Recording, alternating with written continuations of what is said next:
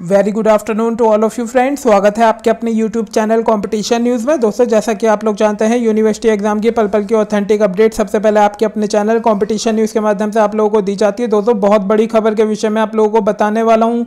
UGC ने छात्रों के हित में अभी अभी एक लेटर दोस्तों जारी किया है। तो देखेंगे दोस्तों, क्या है इस लेटर में? जैसा कि दोस्तों आप लोग जानते हैं काफ़ी मीडिया में और दोस्तों दैनिक जागरण में भी ये खबर पब्लिश हुई थी कि छात्रों को बिना परीक्षा के प्रमोट किया जा सकता है। तो दोस्तों इसी के ऊपर यूजीसी ने एक लेटर जारी किया है। तो देखने वाले हैं दोस्तों क्या है इस लेटर में। तो वीडियो को दोस्तों बिल्कुल एंड तक देखिएगा क्योंकि काफ़ी महत्वपूर्ण होने वाली है।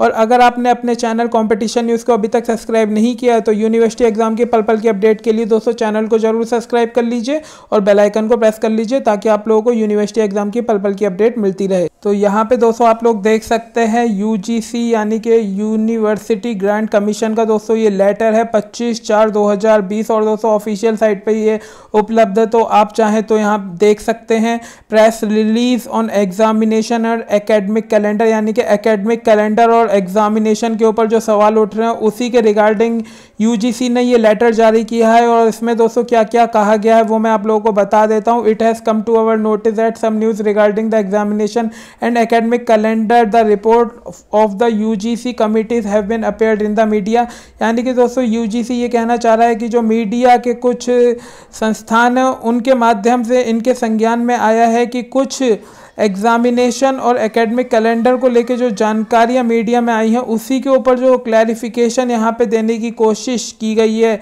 यूजीसी की तरफ़ से। और इसमें कहा गया है कि दो कमेटियों का गठन यहाँ पे किया गया है। पहली कमेटी का गठन यहाँ पे आप लोग देख सकते हैं एग्जामिनेशन से रिलेटेड और जो सेकंड कमेटी का गठन यहाँ पे किया गया था, वो एकेडमिक कैलेंडर को लेके किया गया था, जो पहली कमेटी है। उसके जो चेयरमैन हैं, यहाँ पे आप लोग देख सकते हैं सेंट्रल यूनिवर्सिटी ऑफ़ हरियाणा के चेयरमैन है, दोस्तों वाइस चांसलर हैं।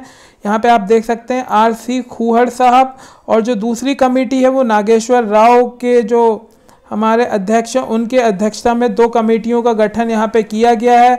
और दोनों कमेटियों ने, दोस्तों, अपनी रिपोर्ट 24 तारीख को सौंप दी है यूजीसी को।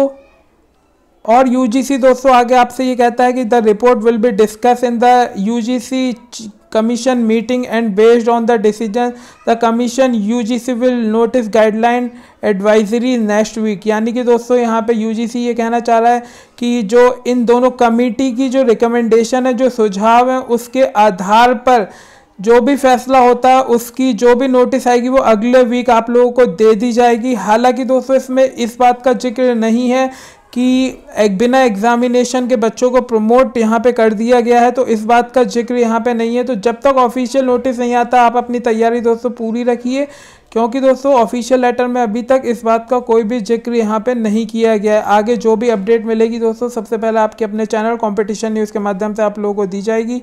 फ़िलहाल दोस्तों वीडियो अच्छी लगी हो तो वीडियो को लाइक कीजिएगा चैनल को सब्सक्राइब कीजिएगा। जय हिंद, जय भारत।